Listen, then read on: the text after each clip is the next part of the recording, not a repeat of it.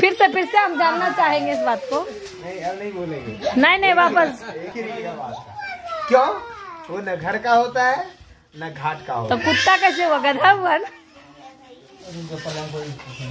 और आप शायद नाइन्थ नाइन्थ में पढ़े हैं दो बैलों की कथा? झूरी और मोती। हाँ, हाँ हाँ हाँ, हीरा और मोती ना। हीरा और मोती।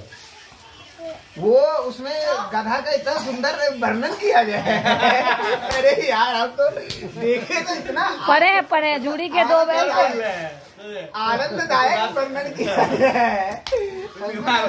यार पढ़े ना। क्लास ले रहे थे। तो रिलेट कर पाए अपने आप से। अपने आप में रिलेट नहीं कर पाए।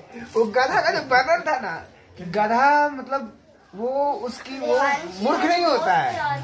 उसके सीधेपन ने उसको मूर्ख बना के रख दिया है। तो ये आप अपने आप से ले उत्तर देना नहीं चाहता है। कुटुम्ब हाँ? अपना आप के नहीं रिलेट कर लिए ना वहाँ।